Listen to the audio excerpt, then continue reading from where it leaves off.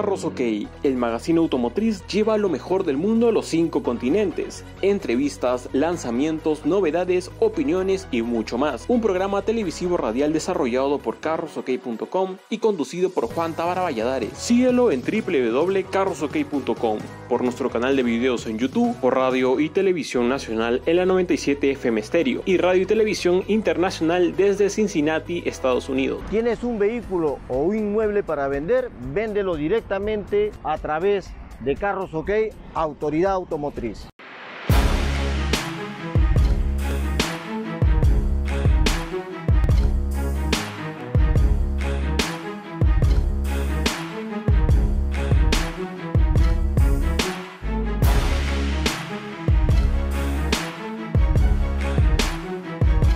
En cuanto sabemos de carros, hoy día vamos a tocar tengo 500 dólares, ¿me puedo comprar un carro?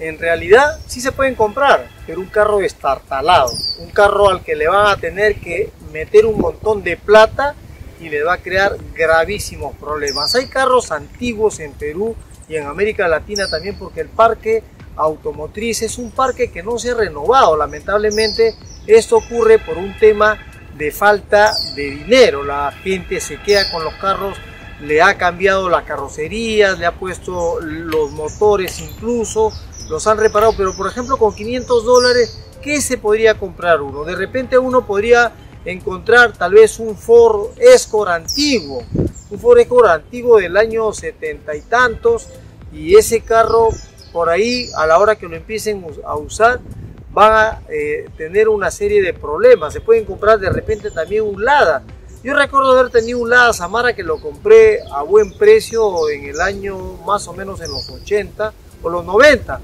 casi los 90, por ahí, los 90 me compré ese carro y no miento, en, casi en la, eh, iniciando el año 2000.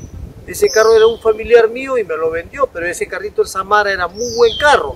Un Lada Samara, por ejemplo, se pueden comprar ustedes a buen precio, se pueden conseguir uno que que se encuentre en buenas condiciones, pero también van a tener que meterle plata. De repente podrían comprarse un Lada del 124, que es un carro que lo van a encontrar muy barato. Después hay una, una camionetita, la Lada Niva, pero por 500 dólares no creo que se la venda. Van a encontrarse, sí, de repente por ahí algún forro o un forro del año, de los años 70, de los años 80, un Ford ya de repente los nuevos que salieron, no recuerdo en este momento el modelo, pero yo recuerdo cuando trabajé en Centro Automotriz en 1985, nosotros teníamos eh, unos eh, Ford que vendíamos. Esos vehículos todavía uno los puede encontrar de repente, pero aquí hay que tener muchísimo cuidado.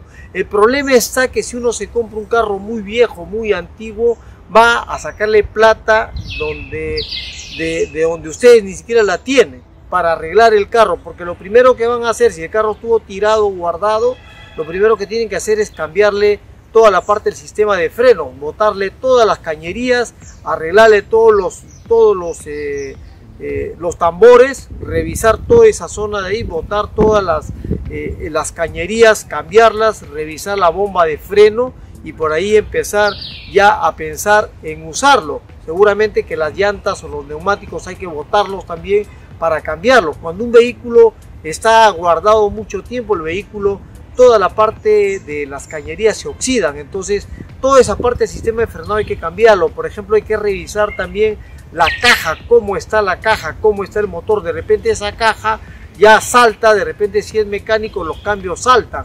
Entonces van a tener que gastar ustedes muchísima plata. En la parte eléctrica, la parte casi siempre que se cambia y no dura mucho, pues una batería dos o tres años en el caso de que es una batería que no necesita eh, mantenimiento, son esas de libre mantenimiento, duran tres años, pero las otras convencionales duran año y medio, dos años. Entonces hay que botar esa batería. Hay que revisar, por ejemplo, la parte del alternador, la parte del radiador, la parte del arrancador, toda esa parte hay que, hay que cambiarle. De repente el alternador hay que revisar la, la piña igual que el del arrancador para rebobinarlo para no tener que cambiar por nuevo. Un rebobinado les va a costar también unos 250, 300 soles si lo hacen en Perú.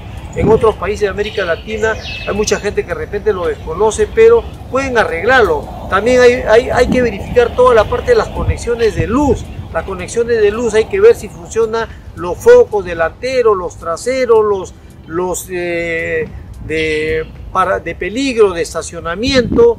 Y todo eso tiene un costo realmente alto. Entonces el hecho de que ustedes eh, tengan solamente 500 dólares para comprarse un carro y luego lo compre, no queda ahí nada más, porque probablemente también tengan que replanchar y pintar el vehículo. Tal vez tengan que cambiar toda la parte interna de los tapices, porque de repente los tapices ya no sirven, están, están todos raídos, están malogrados, están decolorados y la parte de repente del tablero está toda inservible, que hay que arreglar toda esa zona. Entonces, 500 dólares de repente no es muy recomendable para que ustedes gasten en un, vehículo que les va a crear demasiado problema. Van a gastar muchísimo dinero. Mejor junten unos 3 mil dólares y cómprense un carrito que esté en mejores condiciones.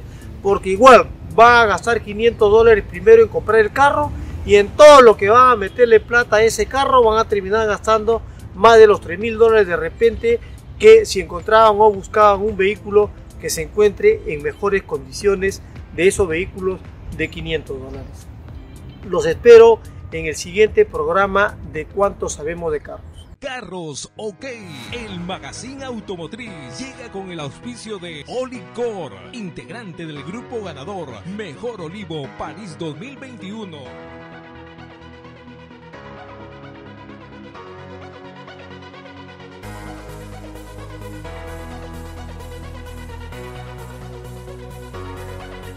Jimena Tábara, Headhunter de todas, la mejor.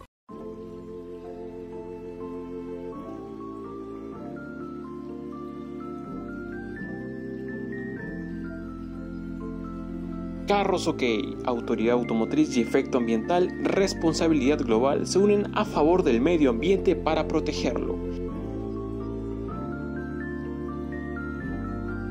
Por ello, ambos recomiendan comprar vehículos 100% eléctricos.